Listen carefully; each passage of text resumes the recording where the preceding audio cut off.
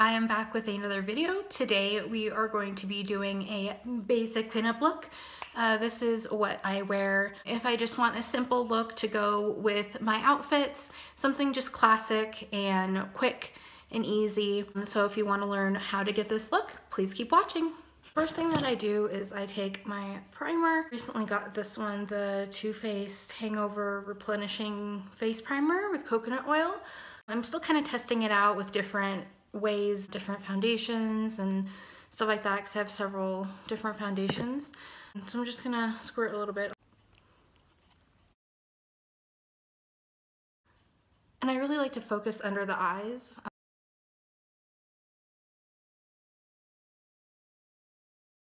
I just put it all over my face and on my forehead. Make sure I get, get it covered everywhere. It does have like a light coconut scent. I love coconut, so it doesn't bother me at all. And it dries very fast. It kind of has like a, kind of like a sticky texture in a way. The primers that I've used before have been with silicone in them. And I found that they tend to make my skin oilier, oilier throughout the day. So I've been trying this one, seeing if it controls my oil better or if it makes it worse.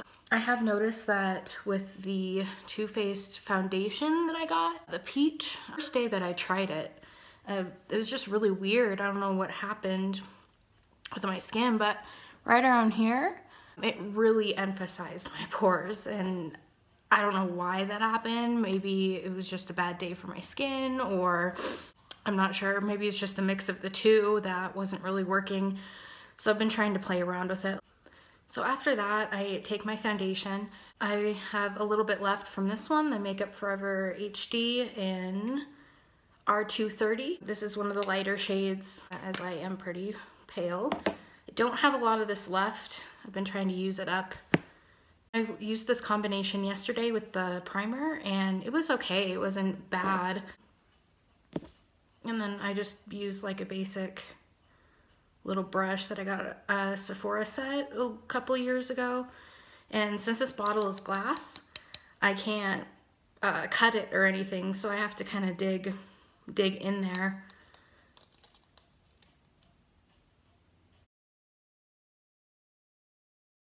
I can just kind of spread the foundation all over my face.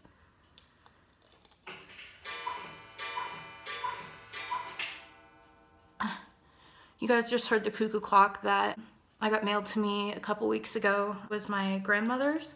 She passed away in December, so uh, I inherited some of her items. I am filming in my living room, because there's just better lighting out here. Now I go in with my Morphe M43 brush. I picked it up at Ulta. I'm so happy that they have a Morphe line now. I've been wanting to try their stuff forever and I finally got my hands on this and I love it.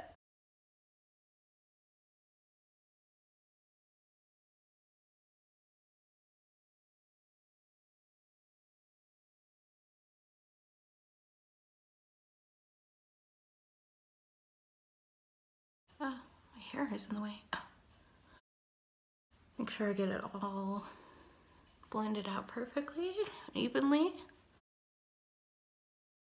So it looks like there's still some spots on my nose that need to be covered. So if there's any spots, oh my, I just dropped it. So if there's any spots that need to be covered or gone over, I just put my brush back in there. My nose is always the toughest for whatever reason. It doesn't take very well. So look, there's some spots. I've been having issues with this right cheek as well lately. My left one is okay. It's just this right one does not want to cooperate very well.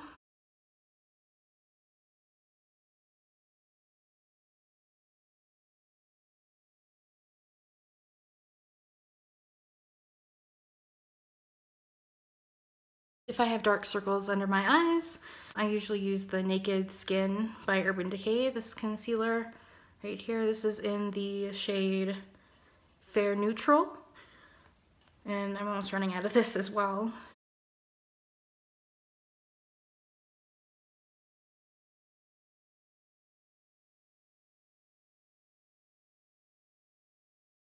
I go back in with my brush, my Morphe brush.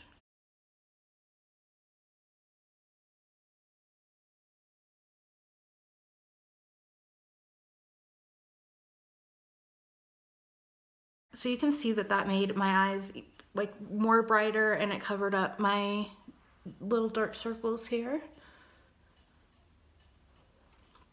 After that, I do brows. So for brows, I use MAC, the Fluid Line Gel Brow Cream in Dirty Blonde. I don't know if you guys can see that or not. This is comparable to the Anastasia Beverly Hills Brow Gel. And then I just have their brush, the angled brush here, and the number is kind of coming off, but this is 266, I believe. So I just dip it in here, get some product on there. I'm gonna scrape it off on the edge so it makes like a clean line. then we're gonna get up close and personal here for a second. So then I just do the outline. So I usually do my left first because that's the good one.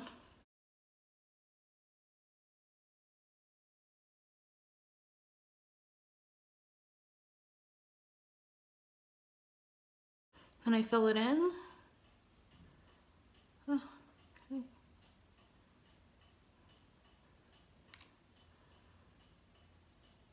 Don't worry, I'm gonna erase this eventually. so I don't look like Carla Frida. I don't have a unibrow. I just kind of drag it over a little bit and then I take my finger and kind of rub it. So that way it kind of makes like like the Instagram brows kind of like the faded effect. All right, that's good. So that side's done. And then if I need more product, I just go in and dip it again.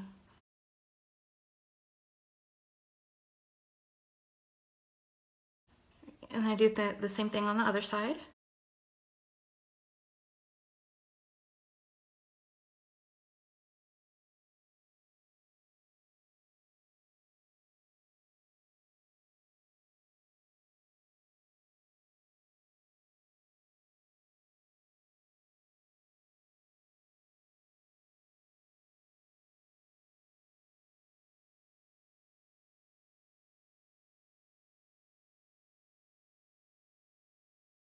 I'll go back in with my Morphe brush and just kind of go over it and make sure everything is blended again.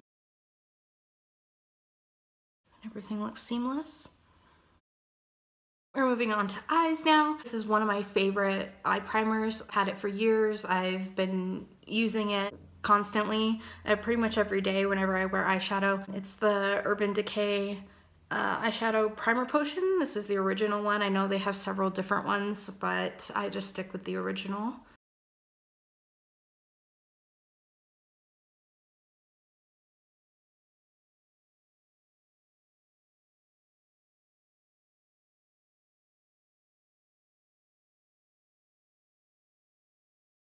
Okay, and I let that dry for a second. For eyes, I just stick to neutrals, usually like um, browns mostly because they go with everything. I'm using the Naked palette. Uh, this is the original. I've used it quite a bit. As you can see, my favorite one is Sidecar. I've pretty much hit pan on that one, but I do have a little replacement. So the shades that I use, let me see if you can see it here. So I pretty much use this one um, it is naked and let's see what's the other one. The darker brown um, buck. And this brush is just the one that came with the Naked 3 palette. I don't have any special brushes or anything. I'm gonna take a little of the Naked and just apply it to the whole lid.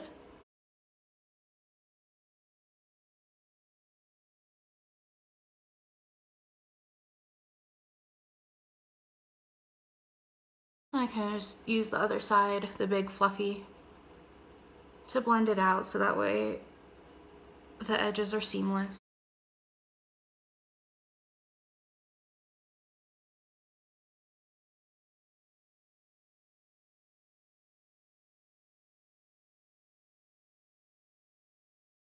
So this just acts as a base color so that way it's not so just stark white. I'm gonna go in with that buck color, the darker, ah, darker brown right there. I'm gonna put that in the crease now.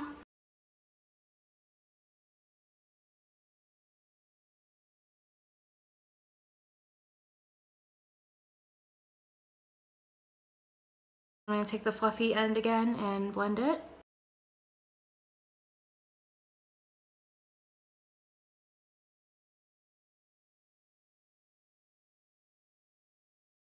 Do the same to the other side.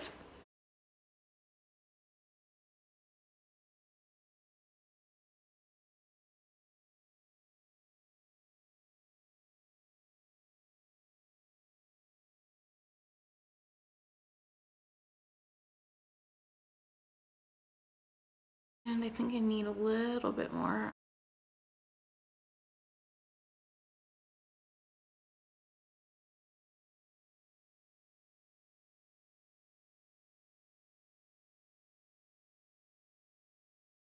Tried several different highlighters. I have tried just the pencil one and the felt tip kind. I have never tried the gel before, so I'm interested. I kind of want to try out that, see how I do with it. I've tried many different brands from you know, drugstore ones to Almay to higher end like Sephora. So this one I have always gone back to. I tried this for the first time I think a couple years ago and I just fell in love. It's gonna be always my go-to for this. It is the Kat Von D Tattoo Liner in Trooper Black.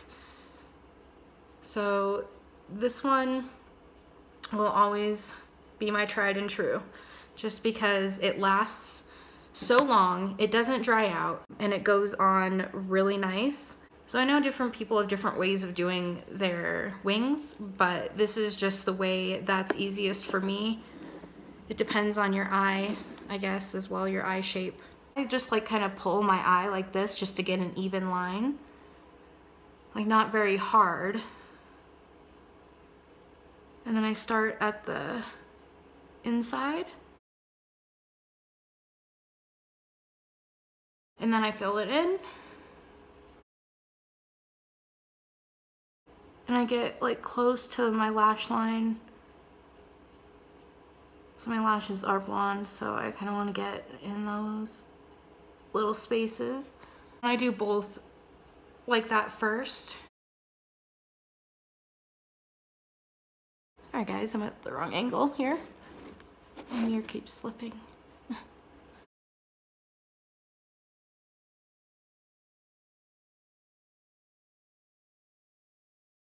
As I get a little in the corner that I don't mean to, I just kind of wipe it away before it dries.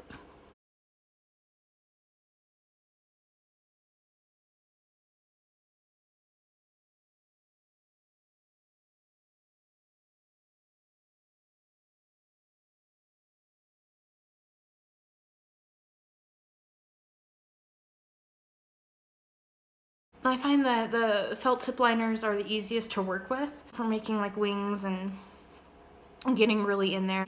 Or to do my wing here, I have tried the hack, I guess you would call it, of doing the, tape on the sides, but usually it doesn't come out even enough, so I just freehand it, honestly. Like, I've just practiced a ton and did it every day and got it to where I can actually freehand it now. And sometimes it does take a couple attempts. Like some days are just not good days. So I usually have to take a Q-tip and like go over it and then redo it. But most of the time it's quick and painless. So this part of your eye, like right there, the corner, I usually try to line it up, make the line towards my eyebrow towards the edge.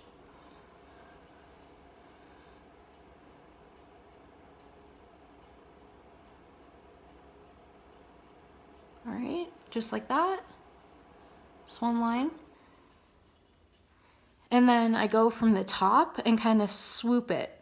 So I go like this and then whoop.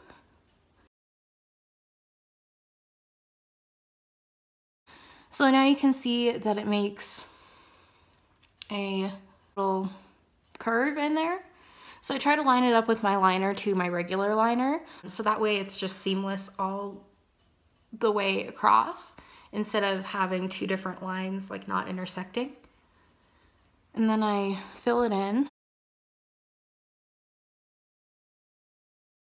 Very carefully, I might add.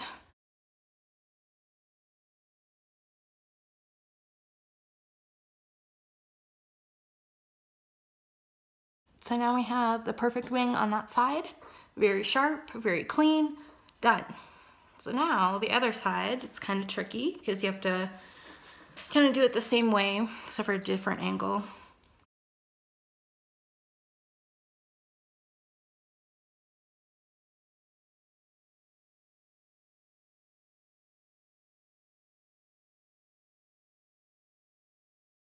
A little swoop on the same thing on this side.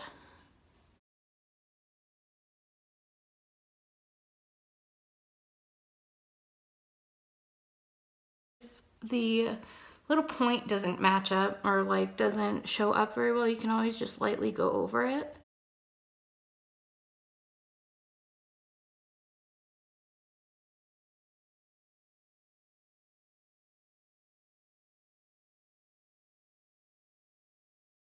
You have it perfect wings on both sides.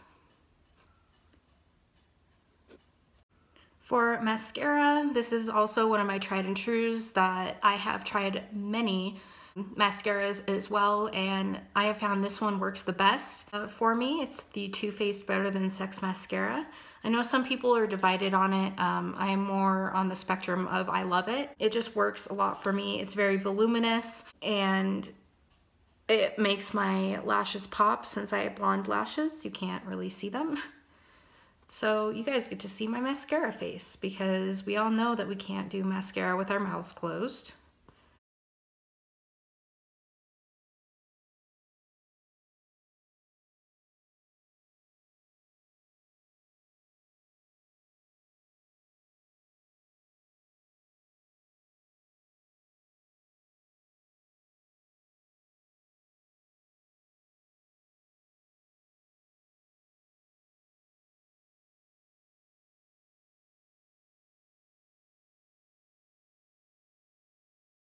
So I normally don't wear false lashes just because I have to wear glasses every day. And I'm not really the best at putting them on anyway, so I just tend to avoid them. I kind of do want to try it again. I just kind of wore them one year for Halloween a couple years ago, but I haven't tried them since then. So I think I kind of just want to get like a, a cheap pair and try them out and see if like the shorter ones or I can even cut them and see if they would work with my glasses. Sometimes I powder just the places where I'm going to be putting other powder products such as contour. So I used to use the Sephora house brand of their powder, but for whatever reason, I don't know if they changed the formula. It just didn't work with my skin anymore. It made me super oily uh, throughout the day and I just was looking for something new. So I decided to give this one a try, the Lock-It blotting powder from Kat Von D in the shade Light. And I've used this a lot recently, so I've hit pan already on it. Um, but it does come with this. I need to wash this. Just get it on there. Especially under my eyes, I like to focus on that too. Especially if I have on concealer underneath, I just like to set it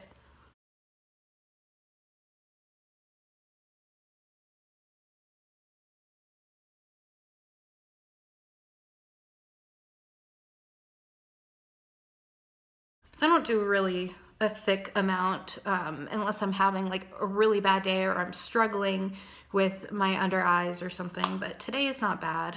Next thing I do is sometimes I contour, sometimes I don't. It's just if I'm in a hurry or if I'm lazy, I do use the Too Faced Cocoa Contour. Um, and I think this one is the light to medium. and I love how it smells like chocolate. Like I just want to eat it. It smells so good. It makes me want a cup of hot cocoa, to be honest. So what I do, I use the Kabuki brush they give you already. It's really soft and flexible and it blends out everything great. So I usually just use the medium cocoa right here. This one is kind of too peachy for me. So I just go in there and get some on there and then blow it off so that way there's not a lot, too, too much. The fish face, as always.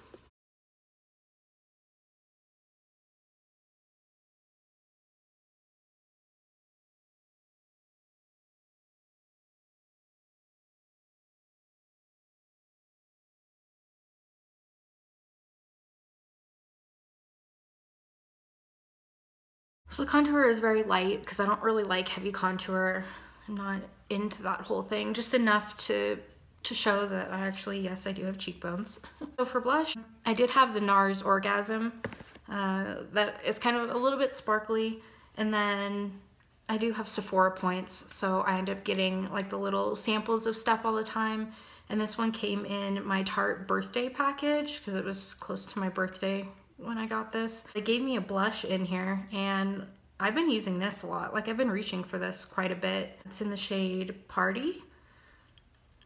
Oh, the little thing. Oh.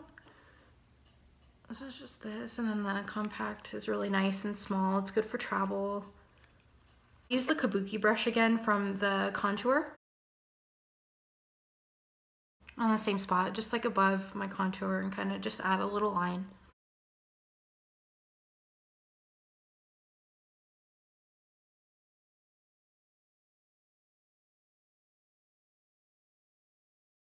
I don't like a lot of blush either. I know you guys can't really see it that much on camera, but it's there. I just like enough to kind of brighten up my face, not go on like full 80s glam or anything. Last but not least is the lips. I actually got this yesterday, so so excited to see that they actually had ColourPop at Ulta. I do receive the uh, magazine in the mail, so when I saw that, I was super excited. Whenever I go on to any of the websites, that they're always sold out. And I've always wanted to try their matte lipstick. So I went yesterday because I had a hair appointment to cut my bangs anyway. So while I was there, I picked this up. It's the Ultra Matte Lip. And the shade is in Creeper. This is kind of like a first impression as well because I have never tried this before, so this should be interesting.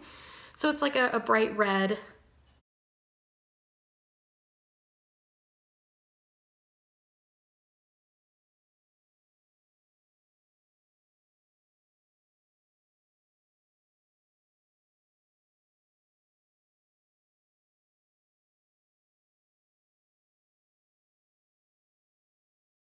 So it definitely went on very creamy. It does feel a little drying, but I don't think it's bad. Like I'll have to try to wear it throughout the day and see how it lasts and if it makes my lips even more dry, because that's what I have problems with usually with liquid lipsticks, is that they're too drying and they just suck out the moisture from my lips. So hopefully this one doesn't do it, because I really want to like this brand. So it doesn't look bad.